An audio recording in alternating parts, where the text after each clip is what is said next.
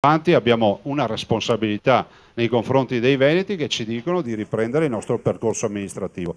Lo facciamo con serenità, lo facciamo senza le polemiche. Voi mi conoscete, non aspettatevi da me polemiche in campagna elettorale se gli altri parlano bene o male di noi ci fanno solo un, che un piacere, lo facciano. I cittadini veneti non sono degli idioti che stanno lì a, a, credere a tutto quello che si dice, perché quando tu dici che la sanità del Veneto fa schifo, vuol dire che l'unica roba che devi fare per coerenza è andare a curarti fuori dal Veneto.